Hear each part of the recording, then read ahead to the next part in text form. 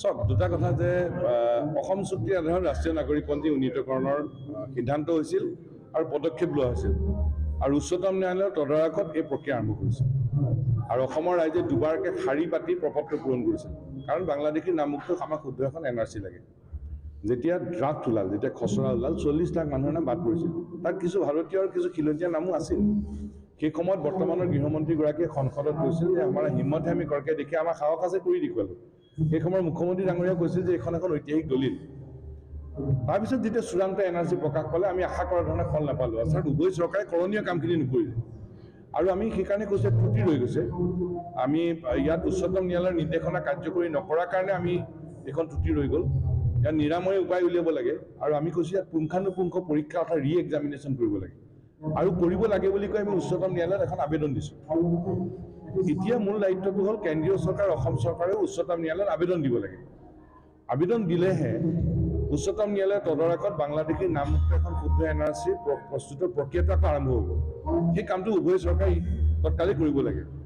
এতিয়া কেগৰ প্ৰতিবেদনত যিবোৰ কথা আহিছে কেগৰ প্ৰতিবেদনে কৈছে ইয়াত অনিয়ম হৈছে দুৰ্নীতি হৈছে। এতিয়া অনিয়ম আৰু দুৰ্নীতি যিসকলে কৰিছে তেওঁলোকক কঠোৰ দৃষ্টান্তমূলক শাস্তি দিব লাগে বিলম্ব কৰিব নালাগে। আৰু অসম চুক্তিৰ ছয় নম্বৰ দফা অনুসৰি সাংবিধানিক ৰক্ষা কৱচৰ বিভিন্ন পৰামৰ্শৱলী দিছিল। তাৰে এটা অন্যতম পৰামৰ্শ আছিল সমষ্টি পুনৰ নিৰ্ধাৰণ আৰু যেতিয়া কা বিৰোধী আন্দোলন হ'ল যেতিয়া আমাৰ ওপৰত অন্যায় জাপি দিলে কা কা জাপি দিয়াৰ সময়ত কেন্দ্ৰীয় চৰকাৰে এখন অৱসৰপ্ৰাপ্ত ন্যায়াধীশ বিপ্লৱ শৰ্মা ডাঙৰীয়াৰ নেতৃত্বত এখন উচ্চস্তৰীয় কমিটি গঠন কৰিলে। কমিটিখনত আমি ছাত্ৰ সন্থা আমি অংশীদাৰ আছিলোঁ। আৰু এই কমিটিখনে বিভিন্ন পৰামৰ্শ আগবঢ়াইছে।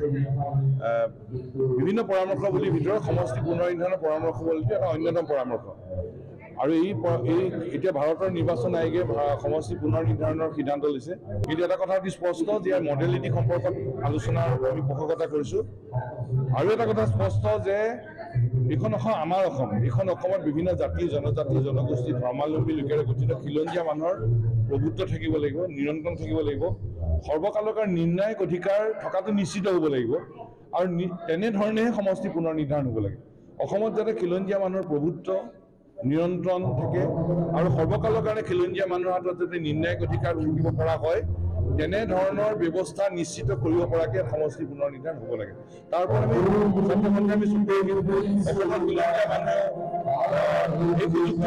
প্ৰয়োজন। এই বিষয়ত আমি চকু ৰাখিম।